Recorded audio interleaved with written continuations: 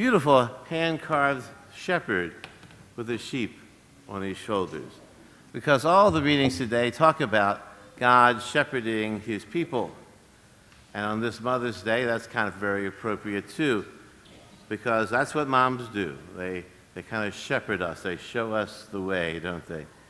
I remember my mother over and over again trying to show me the right ways to do things and, and how to avoid the wrong ways of doing things. And I always had a propensity for those wrong ways. And one of her favorite sayings about me is, Boy, you were in big trouble.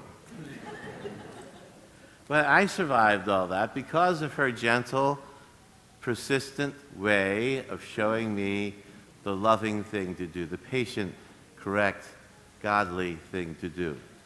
And I never will forget my mother's doing that for me because that's what her calling was in her eyes.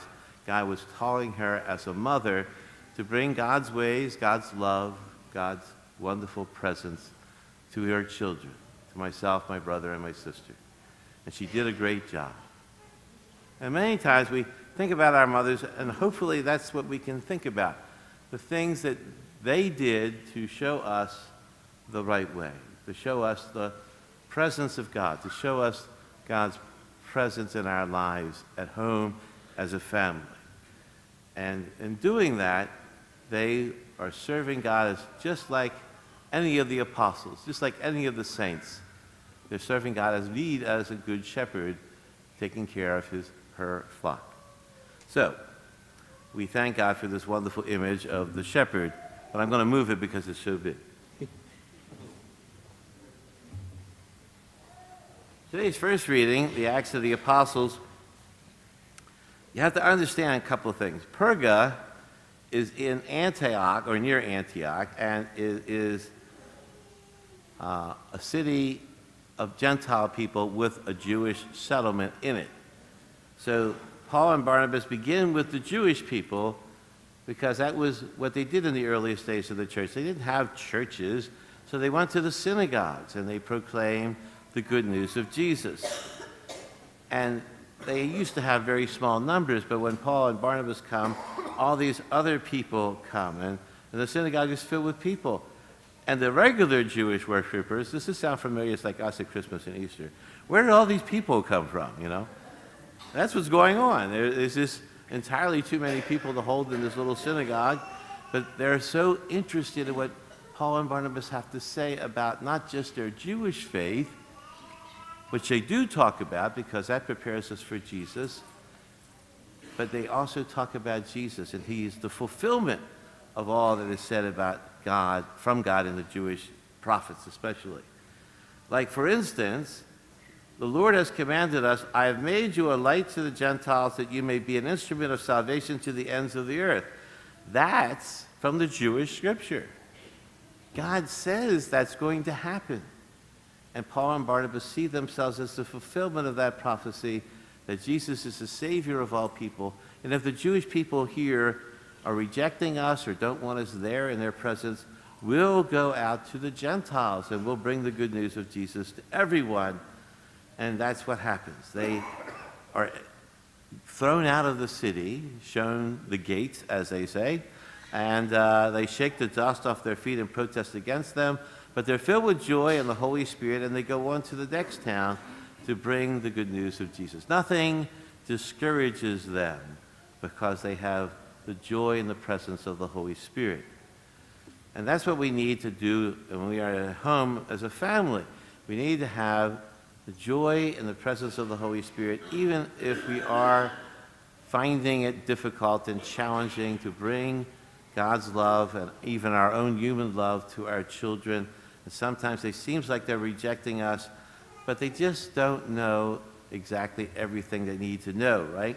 So, with persistence, with the joy and the grace of the Holy Spirit, we go about trying to do the best that we can.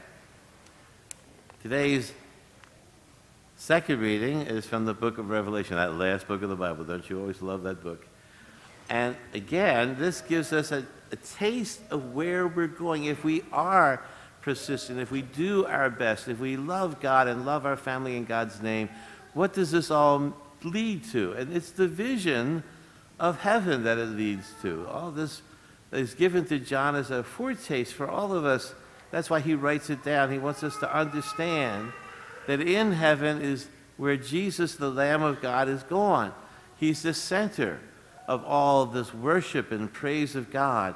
And the people get there because he leads them to the springs of life giving water. We are these baptized people, children of God through baptism, fed by the Holy Communion of the Eucharist, that Jesus might live within us. And it all leads to that eternal joy of heaven, where God will wipe away the tear from all of our eyes. God's going to take care of us. Jesus promises that in the gospel. My sheep hear my voice. I know them and they follow me.